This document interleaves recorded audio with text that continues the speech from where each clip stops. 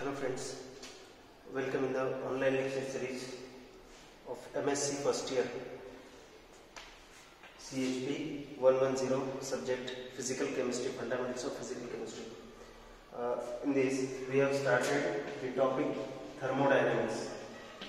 In thermodynamics in some last lectures we saw some basic terms required in thermodynamics to understand all the thermodynamics the basic terms intensive properties extensive properties exact differential inexact differential and total differential. Now the related uh, to this one next term that we have to study is the euler theorem. Sometimes they ask what is euler theorem? Or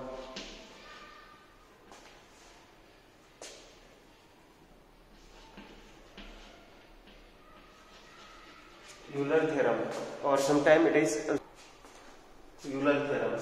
Now Euler theorem they ask it is also called as cross derivative. Cross derivative. Cross derivative.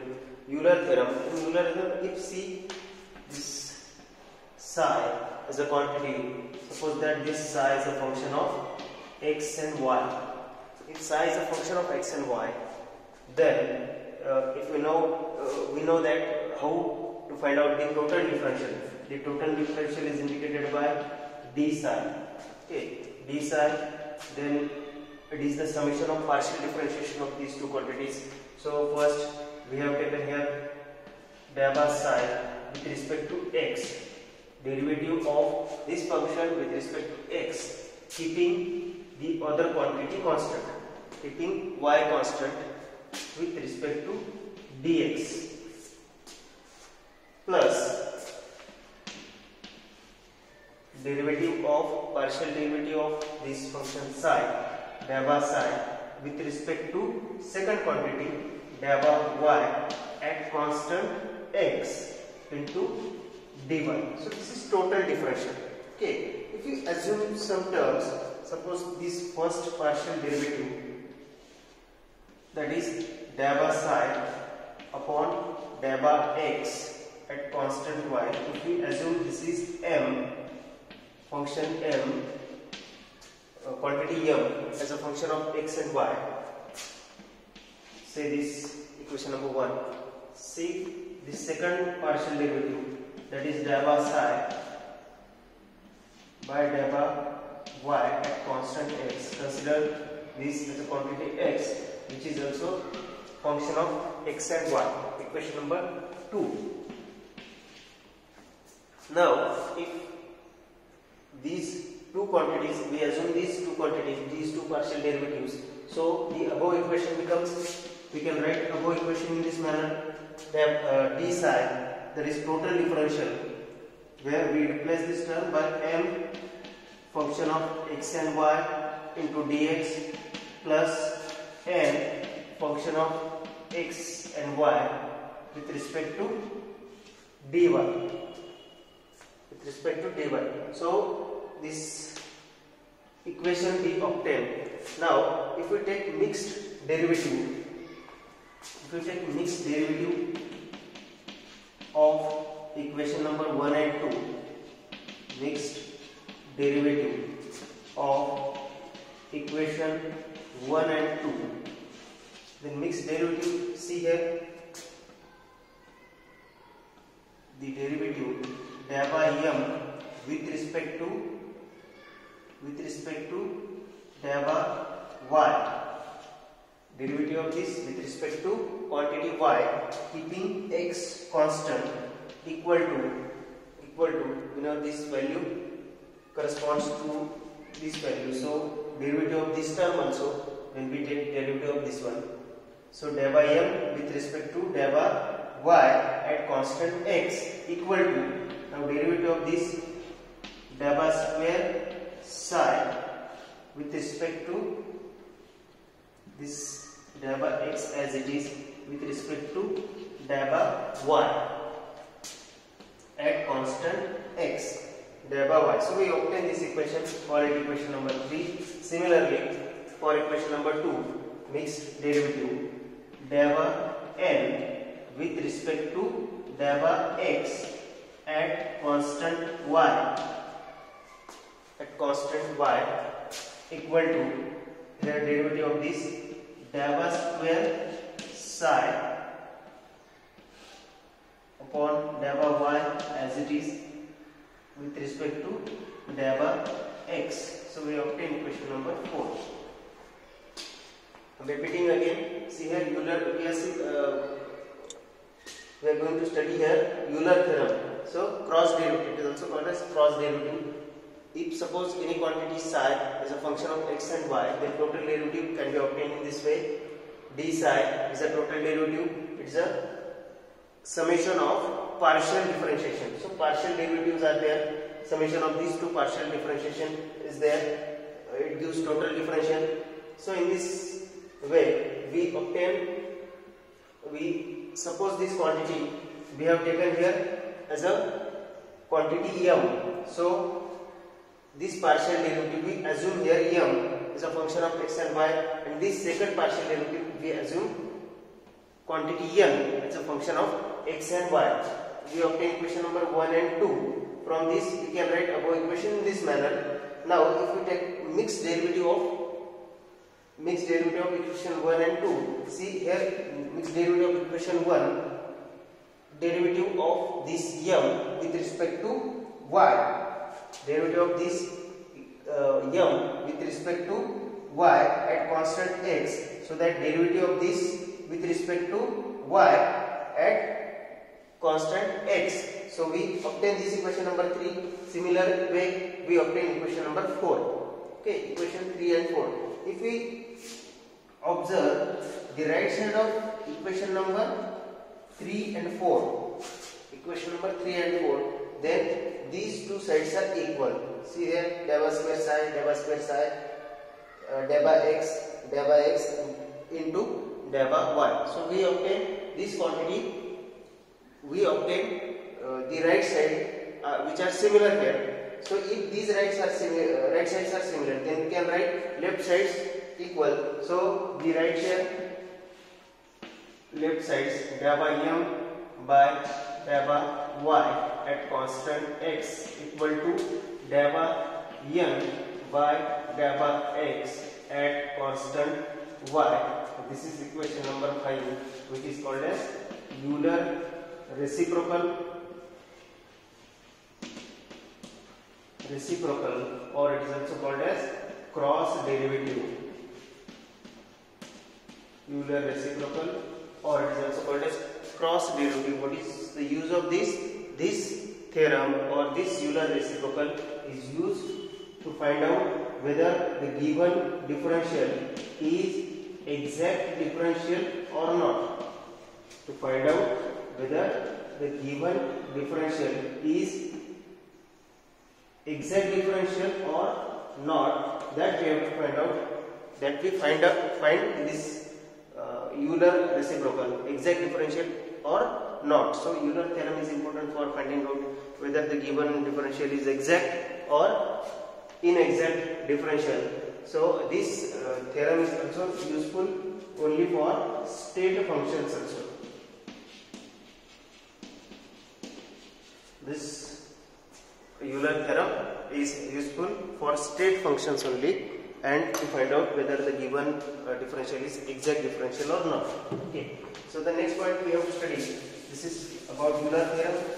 Next, we have to start the laws of thermodynamics. We know there are different laws of thermodynamics, such as first law of thermodynamics, second law of thermodynamics, third law of thermodynamics, are different statements, their uses, their advantages, disadvantages of these laws of thermodynamics.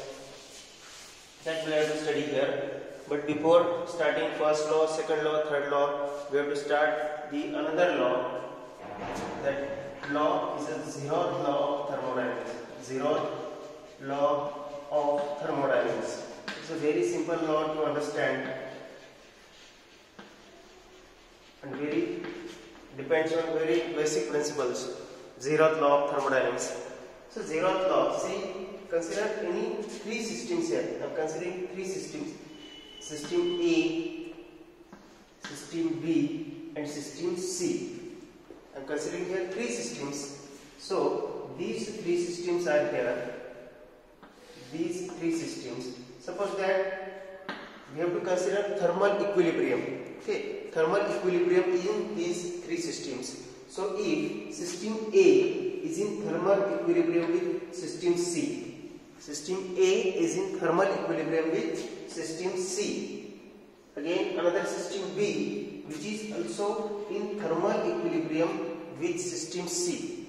So system A is in thermal equilibrium with system C, system B is in thermal equilibrium with system C. So these two systems are in thermal equilibrium with this third system so that these two systems must be in thermal equilibrium with each other. These two systems must be in thermal equilibrium with each other and this is zeroth law of thermodynamics. Zeroth law of thermodynamics which states that if any two systems any two systems are in thermal equilibrium are in thermal equilibrium with each other sorry if any two systems any two systems are in thermal equilibrium with third system third system then they must be they must be must be in thermal equilibrium thermal equilibrium with each other. Each other. So this is zeroth law of thermodynamics which is very basic law in thermodynamics and it is useful in uh, measuring the temperature. The thermometer works on this principle. We measure the temperature of different system. When uh, the they these systems allow uh, to uh, allow to uh, match the temperature of uh, thermometer as well as that system. These systems must be in thermal equilibrium. When uh, thermometer goes in equilibrium with that system then and then we able to measure the temperature of that system. So zeroth law of thermodynamics. So we state that any two systems see here we have taken these two systems any two systems are in thermal equilibrium third system a is in thermal equilibrium with c b is in thermal equilibrium with c so if any two systems are in thermal equilibrium with third system, then they must be in thermal equilibrium with each other. That means they are in thermal equilibrium with each other. Suppose that in three systems we have taken F1 uh, is a function of P1, V1, second system F2 is a function of P2, V2 and third system F3 is a function of P3, V3 then according to zeroth law of thermodynamics these three systems these three systems f1 p1 v1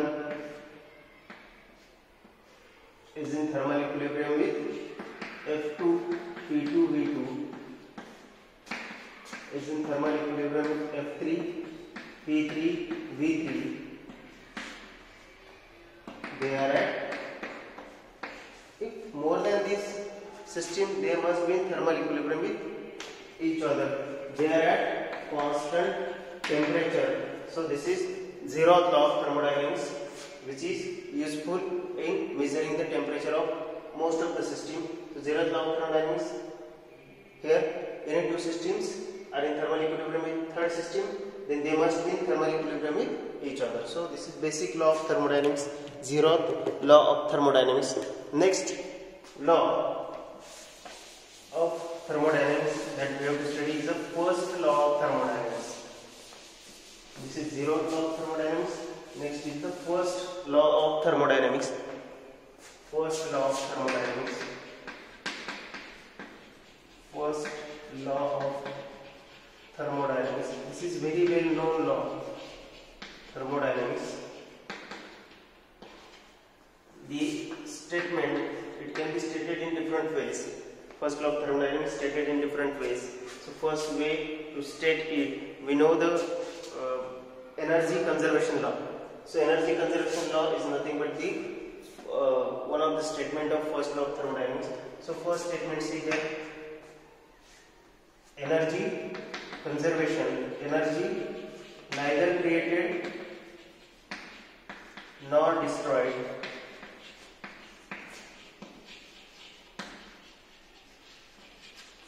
neither created nor destroyed it can only be converted from one form one form to another form. So this is one of the statement of first law of thermodynamic energy. Neither created nor destroyed only converted from one form to another form. See the second statement. See the second statement. The mass energy of isolated system energy of isolated system system remains constant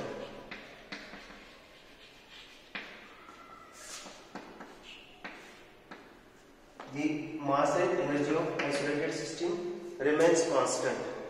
If system is isolated, then its mass and energy couldn't change because it is isolated from other. There is no possibility of conversion. So conversion possibility is not there.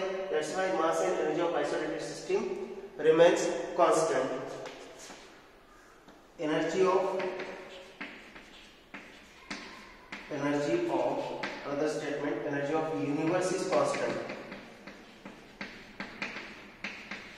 energy of universe is constant but the forms are changing. Energy of total energy of universe is constant energy of universe is constant but the forms are continuously changing. Forms are continuously changing. So important statement.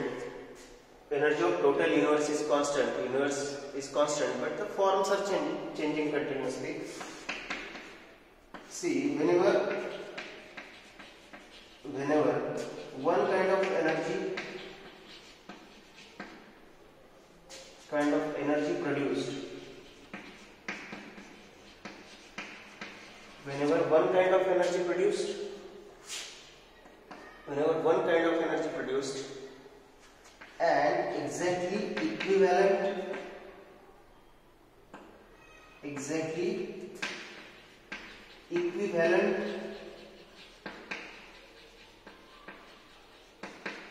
amount of another form of energy disappears another form disappears another form disappear so uh, in support of this the famous Einstein's equation is that E is equal to mc square. So where energy, mass are related, interconvertible. So these are not statements. Sometimes question asks uh, that give different statement of first law of thermodynamics. Give different statements of first law of thermodynamics. So you have to state some of the statements out of this. Energy neither be created nor destroyed, converted from one form into another form mass energy of isolated system remains constant, remains unchanged. Energy of total energy of universe remains constant.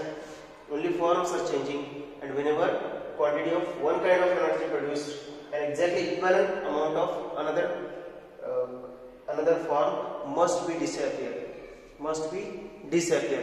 If some uh, some heat is produced from uh, some heat is produced from heater coil, then electrical energy form changes into heat energy. So one kind of energy we use electrical energy and another form heat is produced. Heat produced there. So one form we use and another form produced there but the total energy remains constant. There will be no creation of energy, no consumption of energy.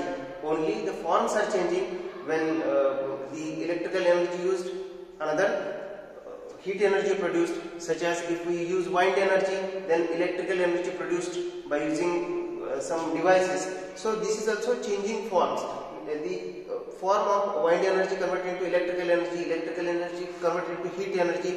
Heat energy if we use for turbines then it is converted into mechanical energy. So these are form these are various forms of energy which are continuously changing. And uh, there is no creation of energy but only forms changing. Okay so forms changing uh,